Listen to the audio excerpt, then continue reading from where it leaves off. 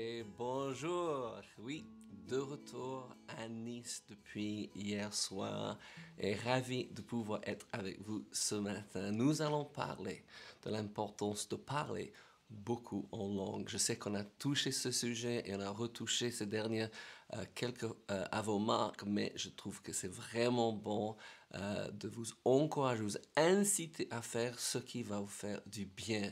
Passons à vous mais à votre entourage. Donc, bonjour à ceux qui nous regardent.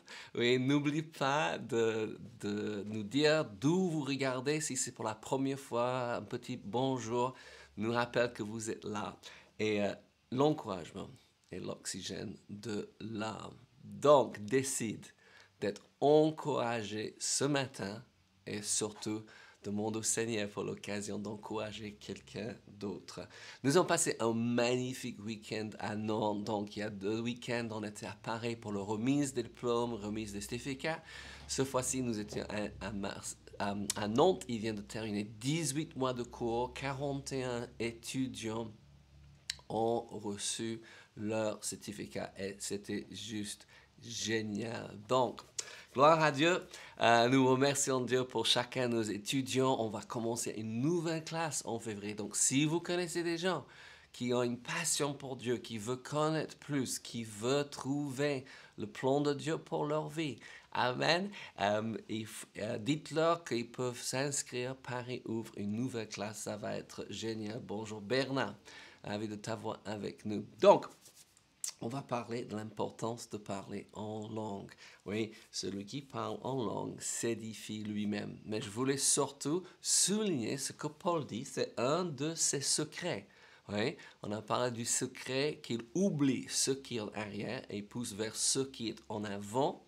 Mais aussi, il nous dit en 1 Corinthiens chapitre 14, et rappelez-vous, si vous avez des questions sur le parler en langue, il n'y a pas un meilleur livre que 1 Corinthiens chapitre 14 qui nous parle donc de cela et répond en réalité à toutes nos questions. Bonjour Samuel Anne, bonjour Sophie de la Suisse. J'espère que vous avez eu un bon week-end avec Donato. Non, je sais que vous avez eu un magnifique week-end avec Donato Anzelon. C'est les fins de temps. Bonjour Elisabeth de, Genève, Alicia de Paris. Je sais qu'il y a d'autres qui sont en train de nous rejoindre. C'est vraiment une joie et un privilège de vous joindre. Nous sommes en train de parler du parler en langue et le fait qu'il ne faut pas parler de temps à autre, mais beaucoup en langue. Et voilà, 1 Corinthiens 14, 18 dit ceci, je rends grâce à Dieu de ce que je parle en langue plus que vous tous. Donc il faut connaître le contexte, n'est-ce pas? Oui, si nous voulons comprendre vraiment ce que la Bible est en train de nous dire, nous nous posons quelques questions. Qui a écrit nous rappelons que si c'est dans la Bible, c'est donc loin, oui, par le Saint-Esprit. C'est lui qui, en version dit, poussait les hommes d'écrire, mais nous savons, il a loin les hommes pour écrire ces choses. Ces choses ne viennent pas de l'homme, mais de, de, Dieu. Ils sont inspirés, mais aussi à qui est-il écrit? Et ici, Corinthiens est écrit à toute une église qui avait une petite exagération des dons et surtout qu'ils utilisaient les dons au mauvais moment. Donc, Quand Paul dit Je rends grâce à Dieu que je parle en langue plus que vous tous, nous devons dire Ah, ça doit être encore un de ses secrets. Pourquoi? Parce que Paul a réussi sa vie. Il nous a dit ça à Timothée, qu'il a terminé sa course, il a gagné le prix. Amen. Et nous voulons, au moins, Laure et moi, nous disons toujours, nous ne voulons pas partir avant d'avoir terminé notre course. Donc, bonjour à Obella, bonjour à Evelyne, bonjour à Muriel. Donc, de euh, Suisse, nous avons aussi Muriel de Nice qui est en train de nous aider. C'est génial. Amen. Donc, je sais que je suis en train de le répéter, mais je trouve que ces versets sont trop importants pour le lire une fois et en parler une fois. Donc, on va aller à Jude. Jude, c'est le avant-dernier livre de la Bible. C'est un petit épître mais c'est puissant. Et quelquefois, on fait très, attention qu'on ne juge pas les petites choses en disant c'est pas important. Quelquefois, les petites choses sont très importantes. Oui, les petites délicatesses, oui, les petites, politesses sont très importantes dans la vie. Et ici, Jude nous dit quelque chose. Jude, oui, 20 et 21, il dit, pour vous, bien-aimés, dont on sait qu'il parle de nous, nous qui sommes aimés du Seigneur, nous qui sommes un cœur qui bat avec Dieu, nous sommes nés de nouveau, dit, vous édifions vous-même sur votre très sainte foi. Hein, c'est un des buts de notre vie, jusqu'à que Jésus vienne nous prendre, ou notre corps euh, son dos, c'est de nous édifier, de croître spirituel. Et c'est une très sainte foi. Nous avons ouais, la foi en Dieu, mais nous avons le Dieu de foi en nous et on veut que ça grandisse. Et encore, c'est comme un muscle. Si le muscle est nourri et on fait d'exercice, ce muscle va être fort. Et il dit, voilà comment vous édifiez sur votre très sainte foi. On sait que la foi vient de ce qu'on entend et ce qu'on entend vient de la parole de Dieu. Oui, donc il faut nourrir notre foi avec la parole, mais l'exercice de la parole, ça commence toujours avec la bouche. Oui, ce que nous avons vu avec ceux qui étaient baptisés du Saint-Esprit, ceux qui étaient remplis à nouveau du Saint-Esprit, la première chose qu'ils font, c'est de parler. Amen. Et évidemment, vous parlez dans votre langue maternelle et glorifier Dieu, prier Dieu, louer Dieu. Vous pouvez en parler de Dieu, témoigner, mais il nous a donné ce qu'on peut appeler cette arme secrète. L'arme secrète, c'est de parler en langue. Ça veut dire mon esprit, qui est né de nouveau, a une voix et j'ai besoin de donner voix à cela. J'espère qu'on a, on a bien expliqué ça. C'est moi qui parle. C'est comme moi j'ouvre ma bouche.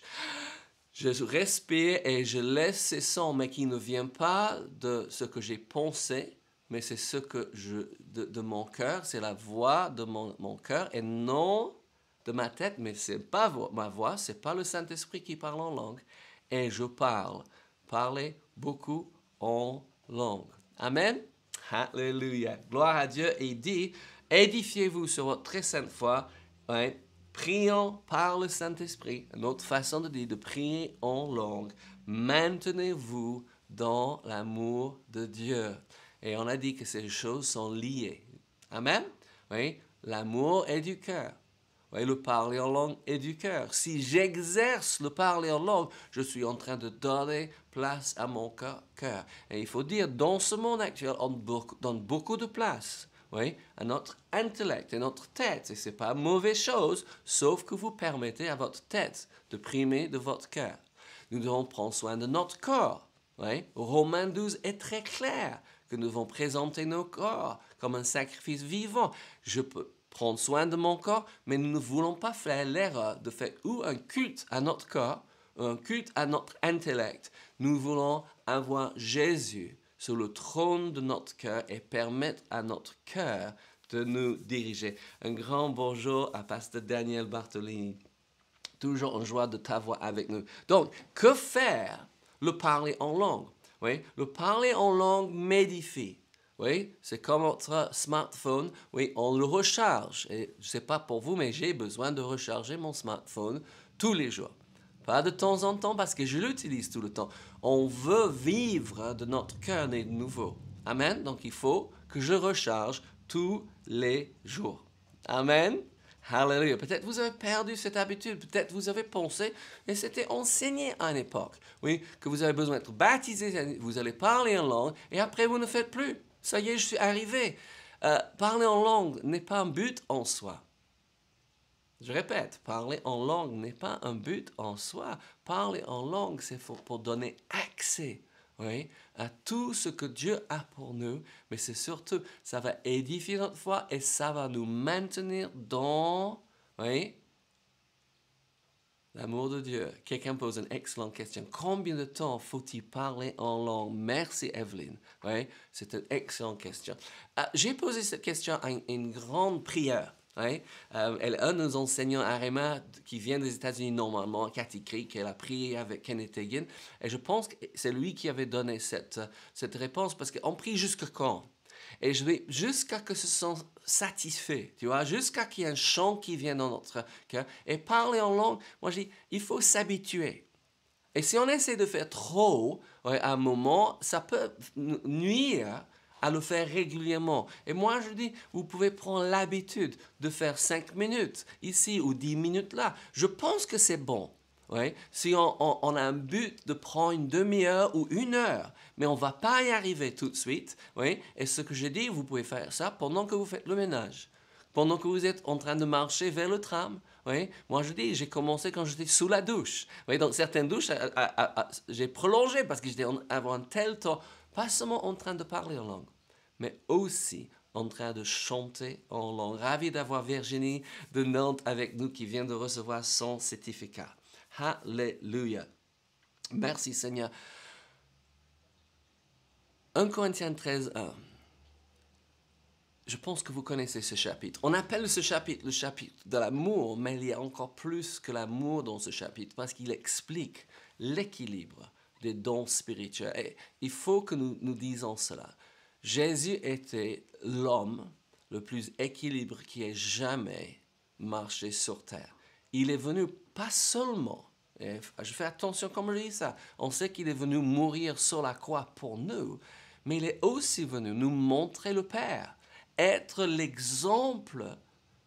Je ne sais pas si j'utilise bien le, français ici, mais l'exemple type, comment un homme né de nouveau, baptisé du Saint-Esprit, devrait vivre. Amen. Et il a passé du temps tous les jours avec son Père. Amen.